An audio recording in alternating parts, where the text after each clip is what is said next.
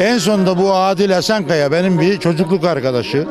O da vefat edince bunu ne yapalım ne yapalım nasıl çözeceğiz Adil e, Allahü Teala'ya inanarak gittik Adil Adil bu bir yemek başlatalım. Bir dökelim belki bir faydası olur diye başladık. 89'dan 2015'e kadar 26 senedir geleneksel bu yemeği yaparız.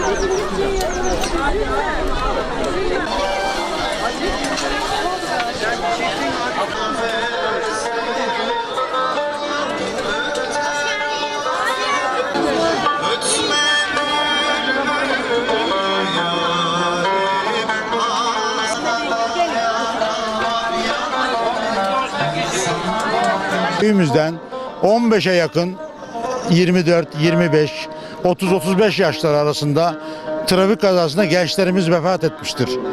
Gece geç saatlerde kadar bütün köylü çalışır. Yemeklerin tamamını yaparız sabahlara kadar. Sabahtan da akşam üzeri 3'e 4'e kadar dağıtırız, imajı işi bitiririz.